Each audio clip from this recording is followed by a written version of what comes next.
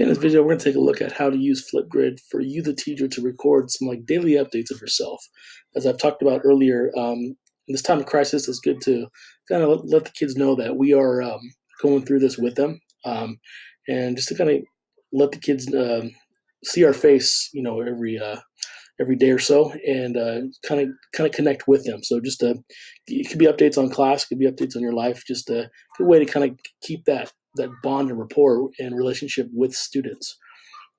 So what I would do here is I would actually add a new grid. I'll call this one daily updates. I'll do public PLC. Create this one.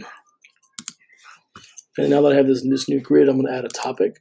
I'm going to call this the updates. Pretty much, I'm going to be telling kids hello.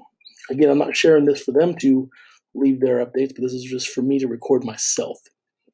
I'm going to create topic. Now that I'm in in this topic here, I'll, I'll once the topic's open, I click on the flip code right here. And now pretty much I'm going to be the student. So I'm going to go down, just like a student was, I would record.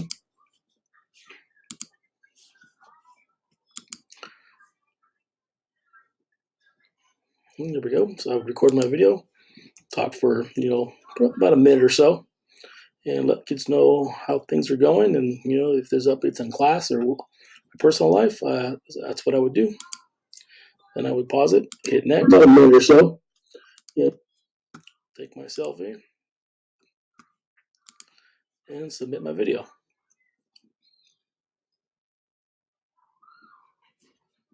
There it is so once I'm done here, I can click complete, close that window. Now, if I refresh, now I'm looking at the teacher view here. I need to refresh it really quick.